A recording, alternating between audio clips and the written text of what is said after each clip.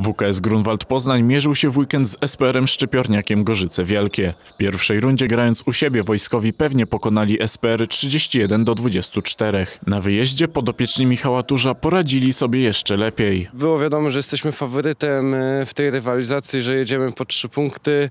No i z tego zadania się wywiązaliśmy no w zasadzie mecze bez historii. Dobrze od początku weszliśmy w te, w te zawody. Udało nam się parę prze, baramek przewagi zdobyć i to gdzieś tam e, konsekwentnie budowaliśmy do końca całego meczu. Skończyło się na 10 bramkach przewagi. WKS wygrał 32 do 22.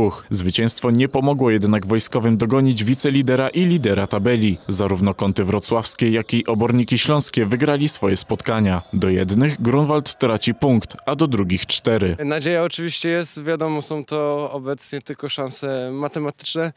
No wiadomo, musimy liczyć tutaj na, na potknięcia rywali przede wszystkim pod kątem pierwszego miejsca to zespołu Zobornik.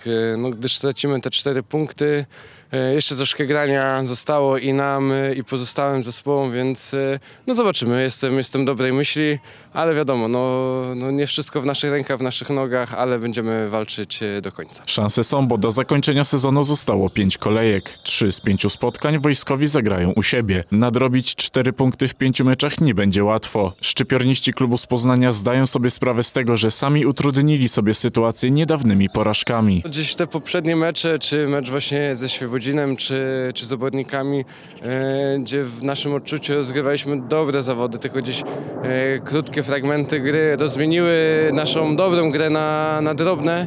Gdzieś nam tutaj przeszkodziło, żeby te, te punkty zdobywać, no i tutaj no, plujemy sobie w brodę, żałujemy mocno tych, tych meczów. Teraz